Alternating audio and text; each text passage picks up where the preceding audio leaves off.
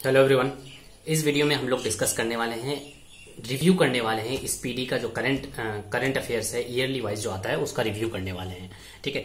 तो मैंने अभी अभी इस बुक को मंगवाया है, यानी कि ऑर्डर तो 20 तारीख को किया था, आज 26 तारीख हो गया, आज पहुँचा है, ठीक है? तो कब से कब तक है? अगस्त से फ़र्स्ट जुलाई तक है, और मुझे लगता है आप अगर रेलवे के लिए प्रिपरेशन कर रहे हैं तो ये बुक बिंदास होकर के ले सकते हैं। अब क्यों? क्योंकि जो नोटिस आया था एग्ज़ाम का, वो जुलाई में ही आया था। तो मुझे लगता है कि जुलाई से पहले पहले क्वेश्चंस पूछे जाएँगे। तो एक साल के तो पूछे ही जाते हैं तो कब से? अगस्त से जुलाई तक, ठीक है?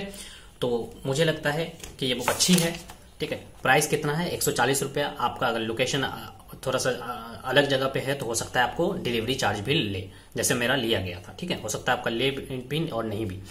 तो अगर आपके पास टाइम कम है, कुछ दिन में एग्ज़ाम होने वाला है तो टाइम कम है तो कम से कम तो अपॉइंटमेंट पढ़ लीजिएगा। जितने भी अपॉइंटमेंट हुए हैं न्यू न्यू उसको पढ़ लीजिएगा। उसके बाद बात करें गवर्नमेंट के जितने भी सेंट्रल स्कीम्स हुए हैं गवर्नमेंट के जितने भी स्कीम्स आए हैं, उसको पढ़ लीजिएगा। उसके बाद बात करें स्पोर्ट्स से रिलेटेड स्पोर्ट्स से रिलेटेड जितने भी अवार्ड दिए गए हैं, उसको पढ़ना है, ठीक है? स्पोर्ट्स अपॉइंटमेंट और गवर्नमेंट के स्कीम ये तीन को तो छोड़ना ही नहीं है आपको कम से कम ठीक है? उस आ, तो आप चाहें तो ऊपर से नीचे तक वो देख लीजिए कौन कौन सा टॉपिक है ठीक है?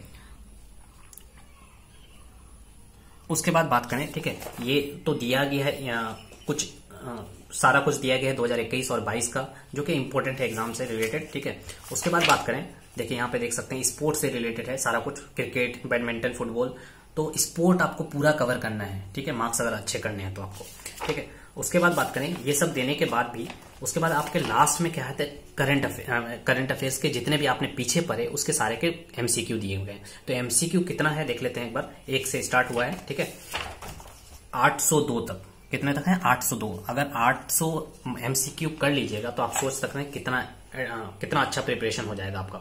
तो मुझे लगता है ये बुक सफिशियंट है एग्ज़ाम के लिए, ठीक है?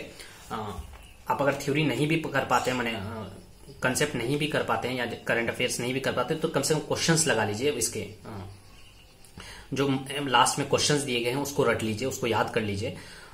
मुझे लगता है ये बुक सफिशियंट है आपके एग्ज़ाम के लिए ग्रुप डी के लिए। अगर आपको बुक खरीदना है तो आप डिस्क्रिप्शन में जाकर के बुक को खरीद सकते हैं और आप तैयारी कर सकते हैं। होप सो वीडियो अच्छा लगा है रिव्यू अच्छा लगा है तो हिट द लाइक बटन